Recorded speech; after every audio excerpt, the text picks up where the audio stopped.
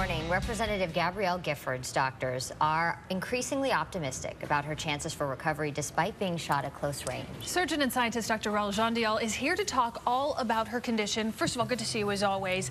So many people are baffled by the idea that she can fully recover. Tell us more about exactly kind of what's happening. Yeah. Or even live from right. being shot in the head. I mean, that's usually synonymous with death. Mm. Absolutely. Most people who get shot in the head do die.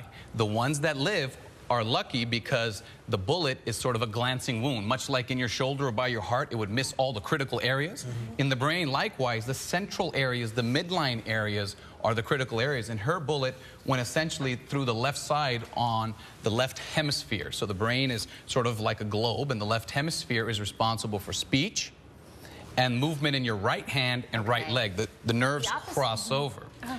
So she's going to live, in my opinion, from what I've read and seen she's responding, meaning she can hear and her brain can send a signal to her fingers to give a thumbs up or two fingers. So these are about as good as the signs can be for her right now. Is that, does that mean she's going to be perfect when all of this is done? No, she might have speech difficulties, seizures, movement problems, but everybody's expecting her to live. What's amazing is that they've removed and kept off part of her skull in order to allow the swelling and to kind of decrease that pain for her.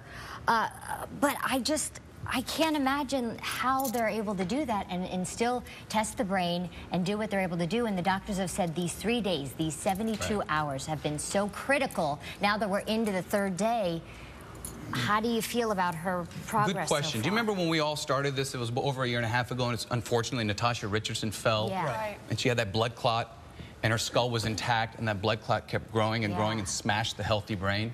Well, because the skull does not expand, the brain pressures become an issue. If your knee throbs, your skin stretches. Right. When your brain throbs after being injured, the skull does not stretch. So what the doctors have done, they haven't removed the skull. I know that's what they're using.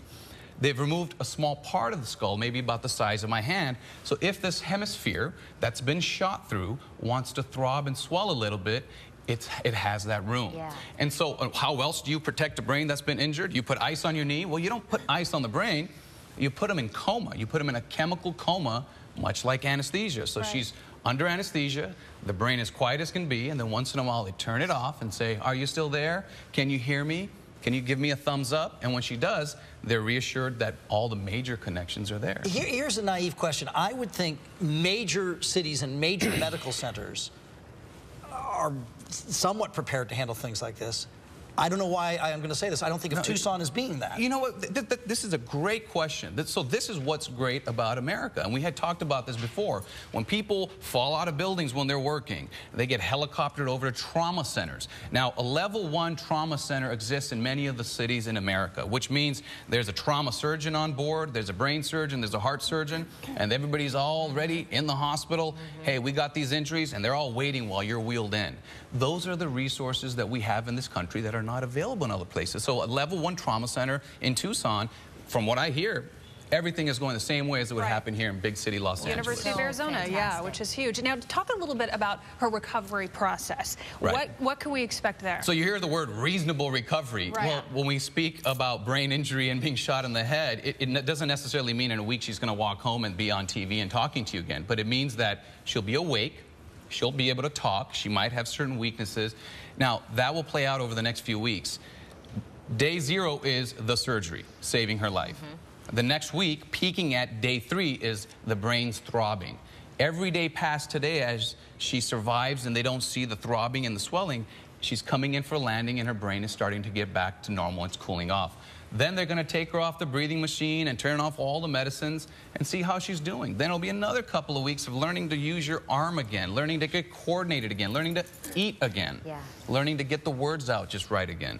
After that, there'll be still several months before you, you, you really have an optimal rehabilitation. And for brain injury as well as spinal cord injury, you got to work hard at it for a year. It's not like a knee where you kind of just spend a few weeks is, Is it realistic to expect two years from now you wouldn't know if you didn't know? Good question. That we can tell you in two weeks when the breathing machine and everything is off. That examination at that point will be the biggest predictor of how she'll look a year from now. Mm. So it's a fantastic story. I'm really proud to be a surgeon. You see what happened. They all sort of congregate. They come to the rescue. It made me very proud of oh, my yeah. profession. Yeah. And, and really the medical system. And there's a big tragedy here. We're talking about her. I think she's going to live, but there was a nine-year-old girl that was murdered right. along with other people. So She's prominent. We're focusing on her, but this is a very sad event. I'm trying to focus on the positive parts, how people have come together, particularly the surgeons. Well, doctor, we appreciate you coming in and explaining it to us because sometimes it's just hard Yeah. to understand exactly what's going on, and we appreciate it. For more information on this topic, go to ktla.com slash Dr. Jandial. Uh, good to see you. Thank you. All right. Thank you, doctor. All right, Henry DiCarlo.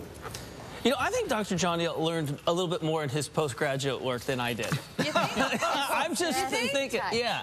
I always feel smarter Did you- did you after go to I graduate listen to him. Yes, well, you Somehow know. I think that six-week mail-order weather course well, is not quite whatever. the same you know, uh, the deal. online classes Yeah, were not all that they Yeah. were cracked up to Right. be. I, I, I always feel smarter when he's here. Here we